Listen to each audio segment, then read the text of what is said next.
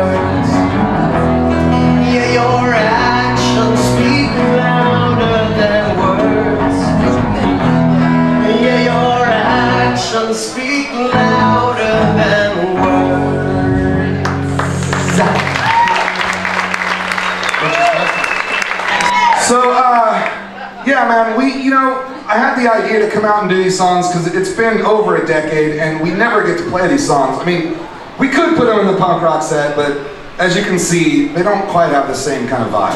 And uh, so it's great to be able to just have a special night dedicated to this. I appreciate the hell out of the fact that you guys here tonight understand what we're doing and that like it. Thank you so very much.